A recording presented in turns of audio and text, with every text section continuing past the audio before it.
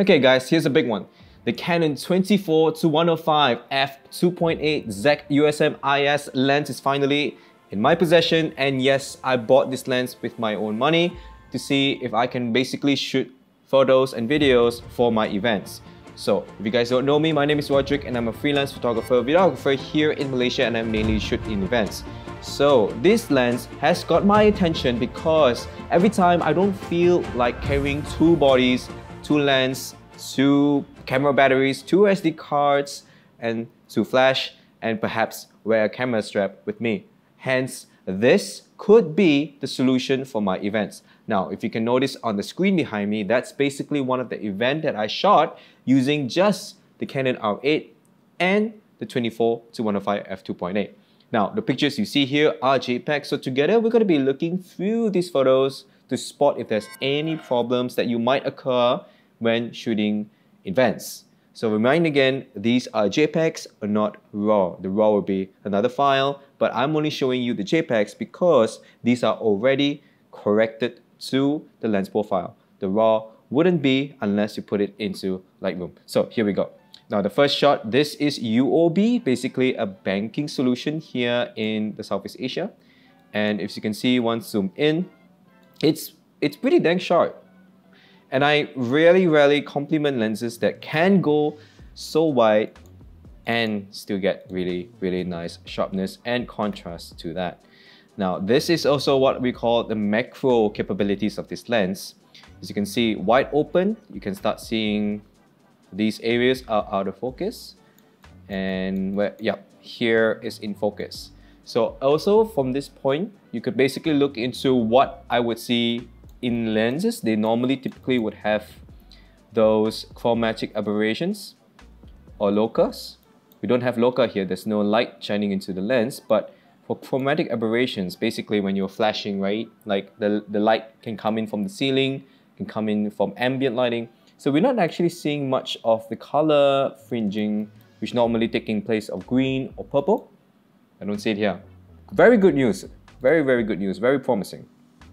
And this is another shot straight up. Right, so now we move into people's faces. How good would this lens render people's faces? Let's see, right? So we got this at 2.8 and this is probably shot at 39 millimeter. So this is a pretty odd shot. It's 39 millimeters, but that's the thing, right? Once you have this lens, you could you could go ham with it. So at 39 millimeter at f2.8 with flash, and let's look. And ah there we go. So the face is nice and sharp though not as sharp. You could actually see a little bit of but I think this is perhaps user error. I don't I don't think yeah oh no. Yeah look at that. You could actually see the details on the the, the patching and all that. It's insane. All right then moving on to the next shot. Oh this is a very beautiful shot this is at 54 millimeter so again, I think I basically, he's on a platform and I've just shot it from below him. And yes, look at the sharpness. Now, if you look at his eyes, you can see that these are the lights that's right off from the ceiling. Yes, it is an event space, so there's plenty full of lights, all of colors, all of types, all above. And this photo looks really, really, really sharp, really good. And look at the bokeh balls. Yeah, so this lens, if you haven't seen the specs, this basically has 11 aperture blades. So the more number of aperture blades basically surrounding your iris, you basically get a nice circular bokeh. Bokeh. Bokeh. But if you have, say, a normal lens with 7 or 8, you might see hexagonal shaped out of focus light balls, right? They won't appear in form of a circle. So this this is nice. This is really nice. Like it's pleasing for the eye. Look, look at this. Like I am drawn to looking at these lights like almost fairy-like. Like they look like out of this world fairy lights are just floating around the person's head. Beautiful.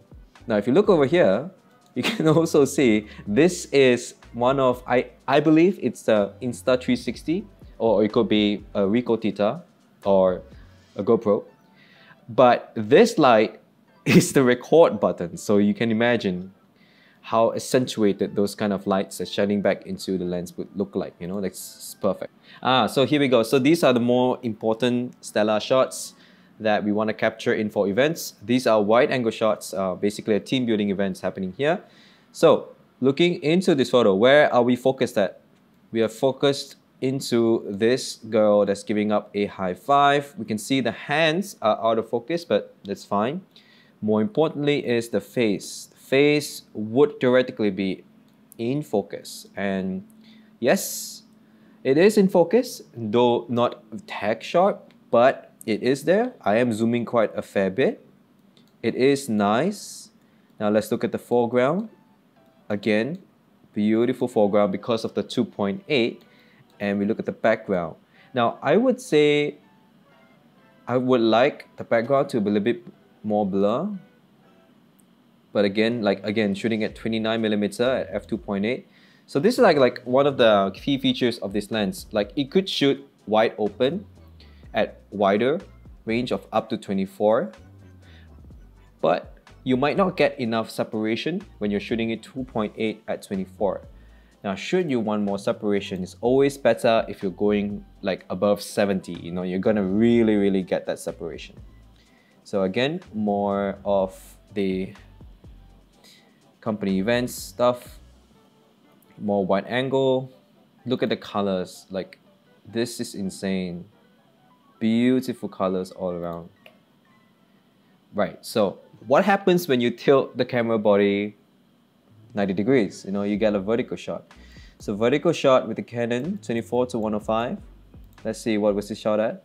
53, 53, cool. At 2.8. Look at this girl yawning right here. hey dude, I mean, this is a nice photo. This is nice. You could, wow, you could actually see the individual threading. Can't really see the brand, Huh. This is nice. This is very nice. Here we go. Now he's standing towards us. Look at the shoes. Oh, that is sharp. Now, one of the complaints that majority of Canon photographers face is our lenses are never sharp. Like even using RF lenses, there are specific RF lenses that are decent, but none can really compare to like the Sigma 35 1.4, you know, those very, very clinically sharp lenses. If you really look into Canon lenses, like even the 35 millimeter from the EF line, it doesn't, it's not that punchy, it's not that sharp, it's a bit hazy. But none of this is the case for this lens. Like I would say this is sharp, though it could be because he's moving so fast that he's not tack sharp Again, my shutter speed is just 1 60th. Now he is moving really fast. The flash may not freeze the entire body in time. Again, more of these kind of shots. Beautiful. Okay, here we go. Now, is this tack sharp? Yes, no, no. This is still a little bit out of focus. Not tack sharp, but again, look at the separation you get, right? Look at how the subject pops from the image at f2.8 I love this shot. At 85, ah, so this is a very crucial focal length. At 85, right? Like majority of people would rock a prime f285 RF, you know. By buying this lens, you could, yeah, it's 2.8, it's not 2.0, but again, you got it covered, you know. You could easily zoom into 85. Can we see the individual strands of hair? Yes, we can. Look at that on his scalp. That's sharp. That's really sharp. And the autofocus as well, it's really, really nice and sharp. Like look at how fast it's moving. You can see the after image on his hands. That's beautiful with the, oh, look at the light streak patterns. Nah, that's something, oh, that, that is not the filter guys. Like when I use this lens, I have no filter on this lens. It's literally just all of its glass. And I'm not sure what's happening here, but I am drawn to this. Ah, okay. Is this an effect of the 11 aperture blades or, or is this an effect of haze and really strong light? But dude, look at this shot. You could crop in the image so much that it produces a photo like this, or you can zoom out and still get an 9 by 16. Zoom in and you get a 16 by 9. It's just that sharp. It's so sharp. Like, look at that. That could be a PowerPoint slide. Like, this is how sharp this lens really is. Beautiful. Thank God Canon made this lens. Like, that's insane to be able to extract a 9 by 16 photo into a 16 by 9. Look at again all of the characteristics of the light. You see here. So these are the lights that was reflecting off the guy's spectacles at first. But oh my god, this is so sharp. Every single freckles, eyelashes can be seen. Beautiful, beautiful handbag even has the word Celine. I don't know if that has name, but Celine. Beautiful photo. Again, one of the advantage of this lens, again, tight, wide. Oh, you could you could do everything. Moment shoots, like look, you can get a group photo of everyone on stage, yet not miss out on moment shoots. This, this is why you buy this lens. This is why you buy this lens and not need to worry on switching cameras because ideally when you're doing this without this lens you need another body and another lens because things happen so fast right like look look what are we at here we are shooting at 24 this is the widest we can go is it wide enough it may be you know your mileage may vary it is, to me, not wide enough at 24. But look at this moment shoot. Like this, 105. I knew it. It had to be, right? It had to be. Now, what I'm meaning is, these are the two photos that are so critical because it shows you to the extent of how wide and how tight this lens can go. You could basically get a group shot of everybody doing yoga or Zumba and you could go tight enough to capture in moments where participants are like this, basically, shouting each other out. And this, ladies and gentlemen, is why I spent 4,000 USD, or in my case, 14,000 ringgit Malaysia to buy this lens. You don't have to worry about another body, you don't have to worry about another flash, SD card, batteries, and all that, camera strap, gone. Have this that's it. That's all you need. This is incredible. Look at 105. This is this is sharp. This is really sharp. I love, love, love, love whenever I could cut down on my processes. Right? If an equipment cuts down on my process, that's where I feel it's worth the money. If I can have one SD card less going into my laptop to get the photos out, that means everything's on just one SD card. That's that's where the money is. That's where you're spending that money in. Luxury in your equipments, right? Look at all this. These are a mixture of moment shoots, wide shots. Again, you can get the whole table in the frame. That's perfect for events. Um, yeah, again, beautiful. So there you have it folks so here so there you have it folks this is my sort of event review of the 24 to 105 of this whole event i've shot 788 photos i barely had any instant. In fact, I have zero instance where this lens had a faulty connection to my camera. So that's great. Majority of the EF lens adapted to RF has that connection issue. So I don't have any connection issues. The autofocus works superbly well in any case, any conditions, even at super low light conditions. And I'm yet pushing it like ISO 400 in super low light. My flash is good. This lens is fast, this lens can go far, can go near, that's all. However, there is a disclaimer that I must make.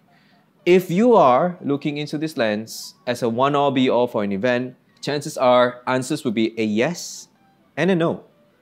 Now, in my honest opinion, is this the one lens that you can bring to all of your event and not bring any other lenses? My honest answer 98% of the photos that I took, 99 I would say, I would push it that far to go 99, are shot using the 24 to 105 perfect coverage. Now there are the 1% in which I only took two group photos and the groups are this big. So as you can see, even in a group shot this large, I still can't get everyone in in my 14 to 35 f4. So needless to say that if you have zooming into 24 millimeter, you are missing a lot of people. Hence, the perfect combo which I would recommend you bring into your event shoot would be the 24 to 105 f2.8 and couple that with a wide angle lens, something 14 millimeter and below. You just wouldn't know one day if clients would be gathering up like this. And if you're with 24, you will miss this shot. This, this is a beautiful image. This would have not been possible with 24. This was shot at 14 millimeter f4, right? So the majority of times you'll be using this lens and in the 1% of time, you might use something wider. So there you have it folks. I hope I've given you enough information about using this lens for event photography strictly. Now for event videography, I've yet to done some, but I will be releasing a video once I've done an event videography with this. Now at the time being, I'm not able to balance this on any gimbal that I own, so I'm yet to search for an alternative to that of a gimbal that can equip the 24 to 105. So there you have it folks. I hope I've answered your question about the 24 to 105 with the sample images I have. If you have any other further questions, let me know in the comment section below. If you haven't already, subscribe because it helps with this channel and I can make more content just like this.